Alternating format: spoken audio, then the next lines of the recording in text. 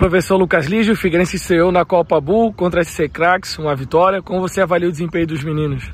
É, uma estreia sempre mais nervosa, né? A gente está aproveitando a competição para dar alguns minutos a mais para alguns meninos que não têm jogado tanto durante o campeonato estadual, né, o catarinense. Então é sempre um pouco mais de ansiedade dos meninos, né? Já tem um pouco menos de minutos. Uh, mas assim, o desempenho no geral foi bem bom, a equipe adversária uh, conseguiu fazer um grande jogo, né?